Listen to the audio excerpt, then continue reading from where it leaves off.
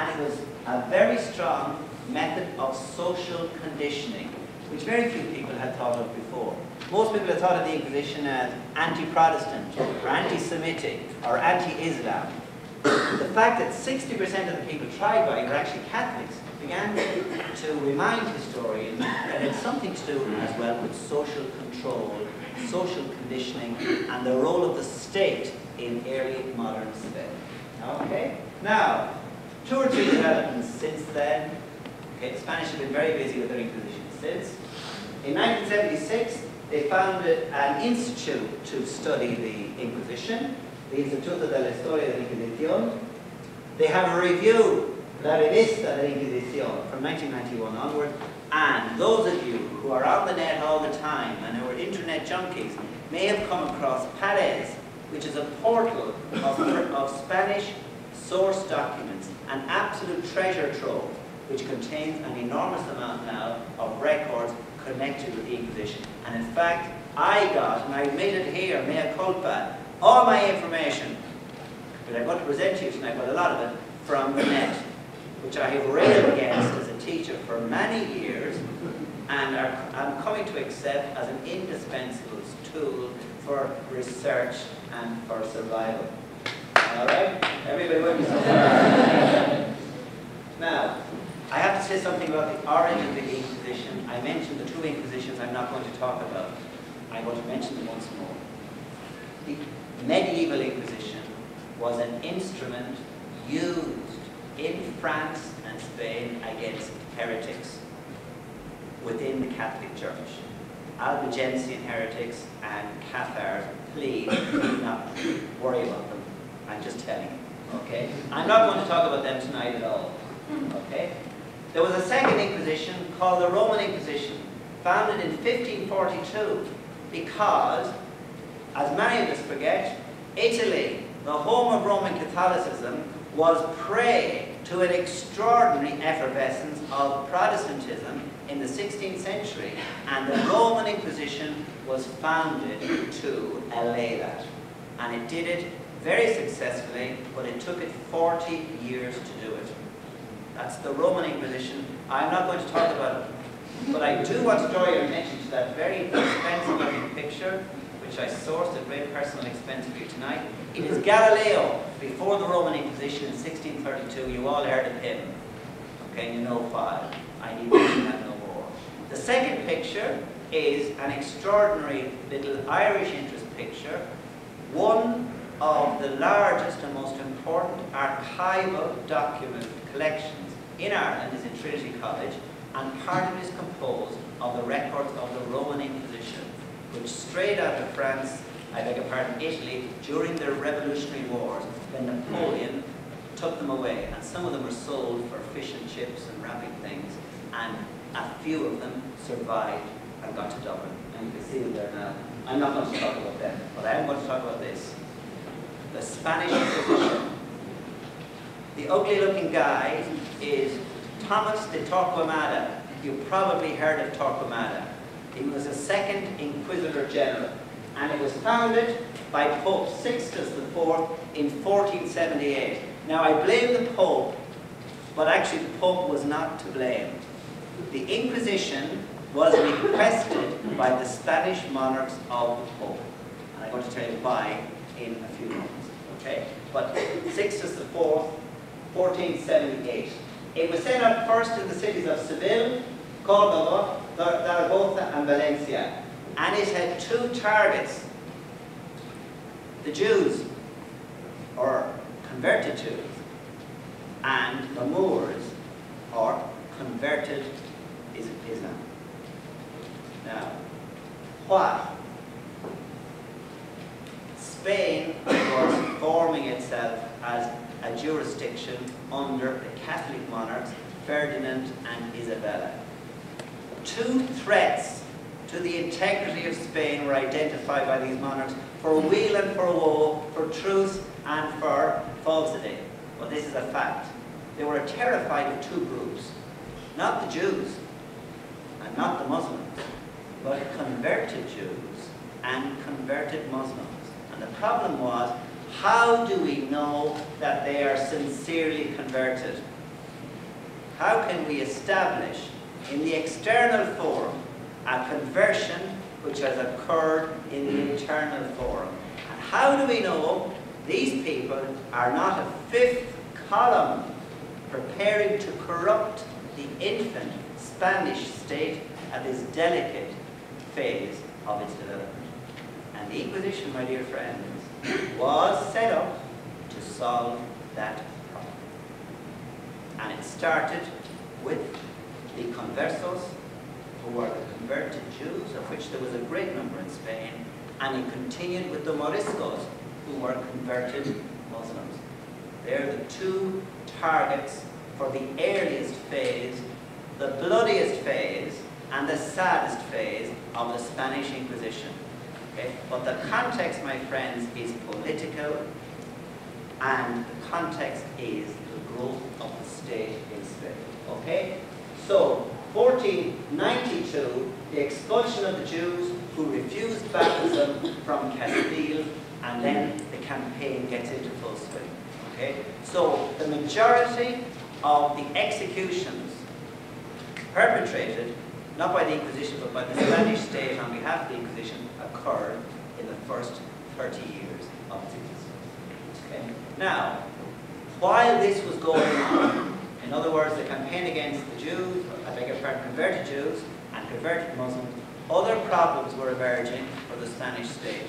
One within the Catholic Church in Spain, and that was a lot of people were getting a little bit too much into religion. Can you believe it? They wanted a stricter religion, and a more demanding religion, and a more internalized religion, and a more personalized religion. They were called alumbrados, people with independent rights. And they were very, very, very dangerous because they believed that they could hear what God was saying better than the king or the pope. The second group are the Lutheranos. We call them Lutherans. And for the Spanish, anything remotely Protestant was called Lutherano. They didn't distinguish between Presbyterians and Baptists and the rest. They were all tarred with the one great brush. Okay? And I have Theodore de Beza, who's one of the great French Calvinists. The vast majority of the Protestants who were taken before the Inquisition in Spain initially were French. And that is, of course, testimony to the great animosity between those two countries. Now, Inquisition then, anti-converso, anti-morisco, anti-alumbrado, anti-Lutherano. Okay, the four great targets. the Inquisition spread like a rash across Spain. And look where it went to. Seville, Cordoba, Valencia, and Zaragoza by 1482, Barcelona 1484, Llerena, Toledo 1485, Palma, Valladolid, Murcia, Cuenca, Las Palmas, Logroño, Granada, and Portugal, different jurisdiction, 1547. Goa. We all know where Goa is. Goa is a Portuguese colony on the coast of India. And they had their own inquisition very, very soon in 15, uh, for, uh, 1560. Lima. you thought this was a cancer which was confined to the old world. It was not. Either cancer or confined to the old world. It was in Lima by 1570, Mexico by 1571, Santiago de Compostela, which is in northern Spain, by 1574, because people didn't think any Spaniards lived up there. Cartagena, the Indias, I don't even know where that is. It's Caracas today. And Madrid, capital of Spain, didn't have an inquisition until 1640, believe it or not. Because it was the home of the court, that called it, the Tribunal del Corte, okay, of the court. All right? Now, that gives you an idea of what Europe, people thought Europe looked like at the time of this enormous expansion. What I love about this map is how big Ireland is in it. and how small the others look. But that's what people thought the world looked like, or Europe looked like, and two things that are important. A, just locate where all those inquisitions are. They're round, a circle around the centre of Spain. Secondly, notice how near Ireland is to Spain. They said you sailed out from the south of Ireland for a half a day and turn directly south. You will end up in Spain. Okay? So the Irish are going down to Spain. Much more importantly, the Spanish are coming up to Ireland to steal our fish, which they have been doing very successfully, even to the present day. And that map gives you an idea of how contiguous, how close, how cheap by jowl we are in Europe. Okay. Give you an idea of the New World Tribunals, Goa is here, Mexico is here, Lima is here, Caracas is here. And interestingly, the Philippine Islands, which are over here, and are called after Philip of Spain, Philippines, are under the jurisdiction of Mexico and Lima. Okay, so the tentacles of the Inquisition are all around the world. Okay. Now, that's a potted history of the Inquisition. Is everybody with me still? Okay, no one irretrievably lost? or perhaps, not lost yet? Okay. Now, you can't study history, my friend, unless you have an archive. Otherwise, you're a journalist. Journalists make things up. All right? But historians have to have documentation to demonstrate what they're saying. This is a basic fundamental truth which people are hiding from you here. I'm joking, I'm joking. Okay. Now, there's huge archives for the Spanish Inquisition. The biggest one is the Archivo Histórico Nacional de Madrid. That's where I work. Look how much there is. 5,344 manuscript bundles. 1,463 manuscript books. These are the papers of the Supreme Council of the Inquisition. In other words, the bureaucratic papers. I went to the archive thinking I was going to find lots of lurid case studies. A lot of those were destroyed. It's much more boring documentation. Happily, there's some cases preserved. Okay? Correspondence between the Supreme Council and Spanish tribunals, the Supreme Council and the American tribunals, the Supreme Council and the Italian tribunals, and the records of certain Spanish tribunals brought to Madrid before and after the dissolution of the Inquisition, which you're not surprised to learn happened in the middle of the 19th century. The 19th century had a long, long innings and uh, lasted a longer time than you might think. There are other archives in Spain, which I won't go into because they're not really important tonight. But there are huge archives over here in the New World, as we like to call it, patronizingly, in Europe. Okay. In Mexico, the Archivo General de la Nación, they have a.